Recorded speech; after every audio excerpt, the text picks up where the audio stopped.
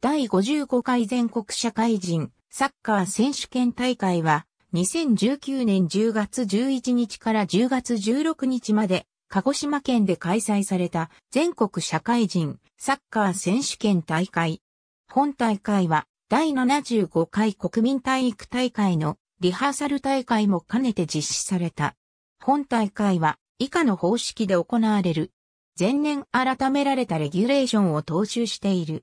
組み合わせは2019年8月19日に日本サッカー協会から発表された。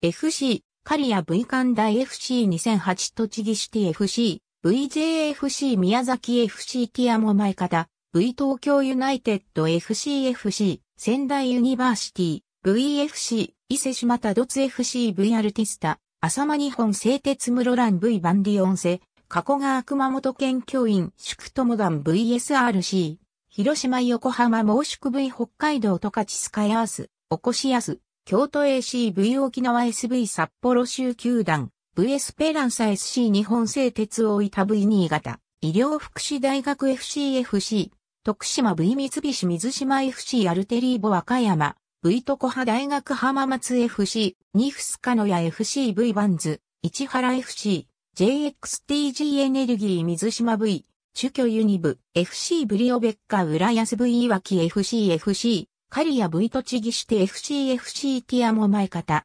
VFC、伊勢島アルティスタ浅間 V バンディオンセ、加古川 SRC、広島 V 横浜申しくおこしやす、京都 ACV エスペランサ SC、新潟医療福祉大学 FCVFC、徳島特派大学浜松 FCV バンズ、市原 FC、主居ユニブ、FCV 脇 FCFC、カリア VFC ティアモマイカタバンディオンセ、加古川 V 横浜申しくおこしやす、京都 ACVFC、徳島特派大学浜松 FCV 脇 FC、FC ティアモマイカタ、V 横浜申しくおこしやす、京都 ACV 脇 FC、横浜申しく V 脇 FC、FC ティアモ前方 V おこしやす、京都 AC 準々決勝終了時点で、各地域サッカー最上位リーグの成績が2位3位で、かつ JFL へ入会を希望するチームが FC ティアモ前方のみとなったため、この時点で地域 CL 出場権を獲得。